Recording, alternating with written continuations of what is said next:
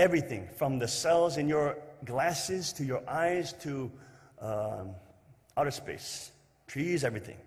All vibration. Okay? When you, a vibration is simply small movement. And when you look inside any type of atom, you will find subatomic particles. So we'll find neutrons and protons and electrons. And you will see that they're moving. The electrons are not static, they're moving. Different models. Some people think cylindrical, something they jump, right? But there's an electron cloud, we scientists usually describe it as, and it's moving, it's not still. So even in every atom, there's slight motion, there's movement. And so energy equals matter equals mc squared is, is a very simple way to explain that. That what you think is matter is actually energy. Okay?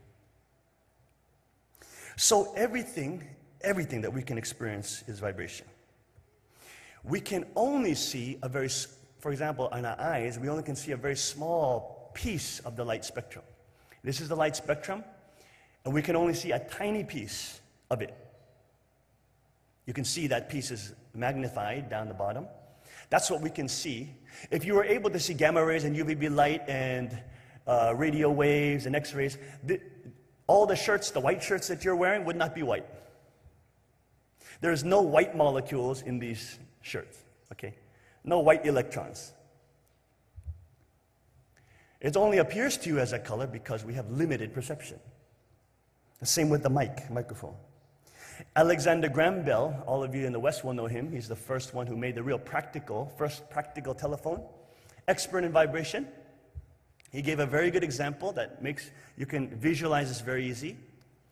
If you have an iron rod and you clamp it down, and then it, you begin to vibrate it, make it vibrate in motion, in small motion, then when it, as it, as it vibrates and reverberates, then it will first appear, the frequencies will first appear within a certain range, it will become sound. So you'll hear it start humming if you vibrate it.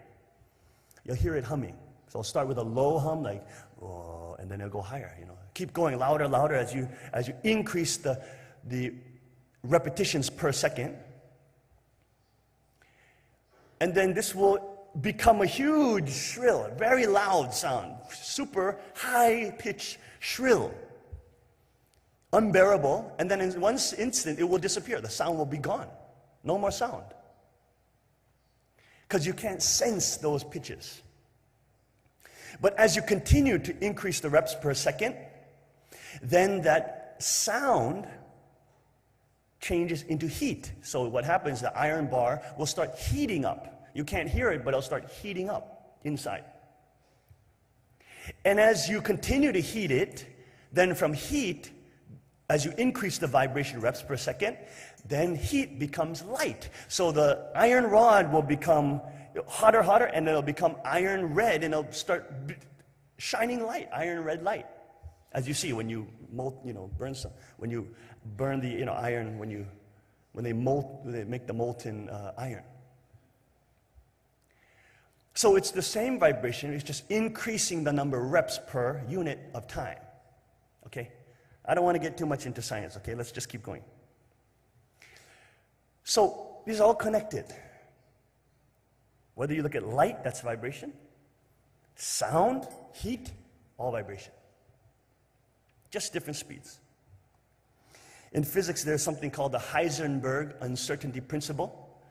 And that is very simply put if you want to see an electron, you want to see a subatomic particle, you have to shine a light on it. And as soon as you shine a light on it, you cannot know its exact location because it changes location and its momentum because of the light. So there's always a, a, an uncertainty in measuring momentum and location of those energy, those electrons and subatomic particles.